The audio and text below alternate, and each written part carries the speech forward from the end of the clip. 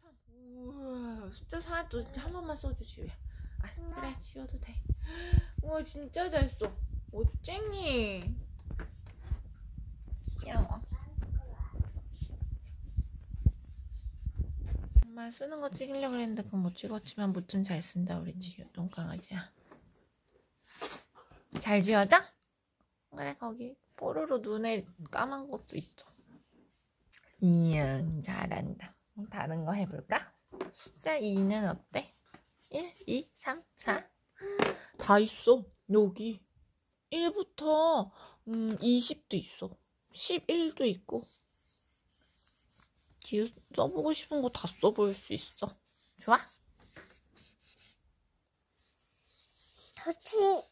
좋지? 좋아? 귀여워. 좋지? 됐어? 귀엽게. 바나나 먹을 거야? 나나는 바나나. 숫자 5도 있어.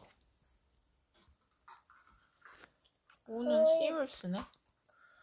시.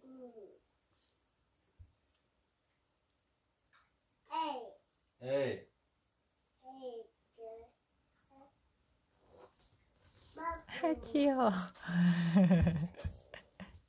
어, 우와, five 썼어. 너무 귀엽다. 잘했어, 집. 멋쟁이. 나 five!